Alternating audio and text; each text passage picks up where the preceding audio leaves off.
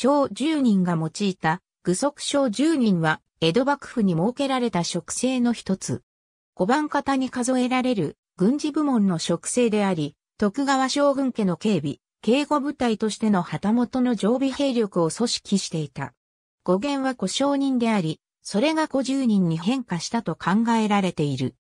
格式は両番の下に置かれ、五番方の中で唯一、馬上資格を持たなかったが、華々しい朱色具足の着用を認められて、番役随一の交際を放っていた。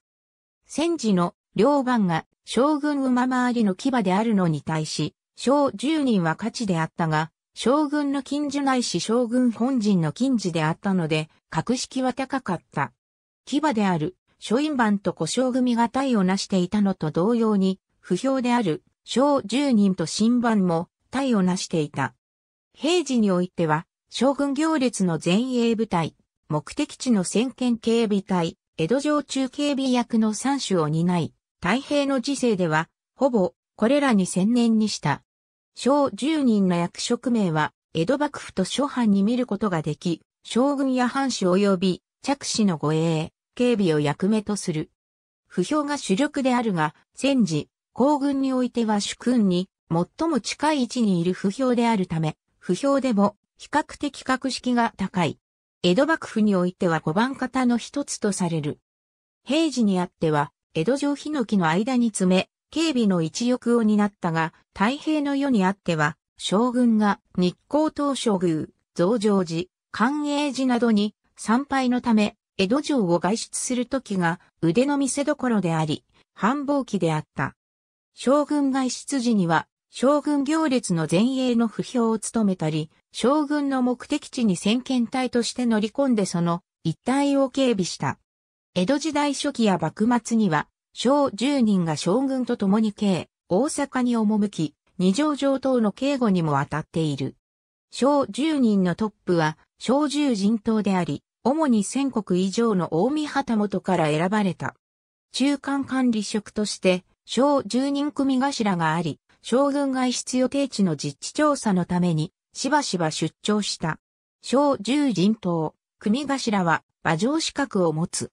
時代によって異なるが、江戸幕府には大宗公十人党は20名、小十人組頭は40名、小十人番士は400名がいた。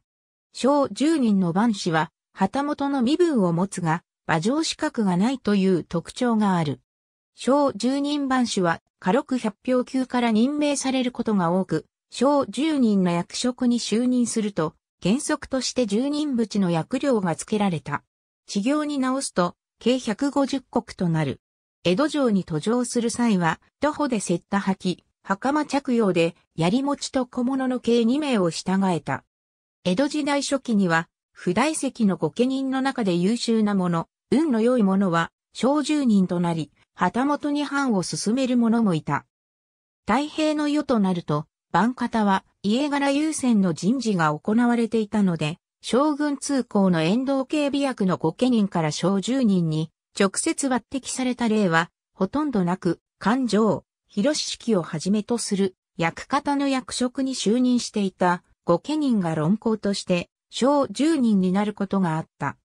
なお、小十人の軍装については、彦根藩の赤備えのような朱色の甲冑が用いられていた。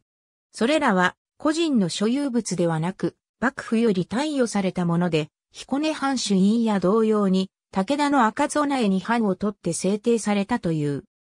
甲冑の様式は全体を主に塗り込ん糸菅毛糸し、銅を中心として、C 形兜と、猿棒、鎖ごて、灰立て及び徳川や旗本の合印である、金抜きの前建物が付属したが、袖やすねあたりはつかなかった。ありがとうございます。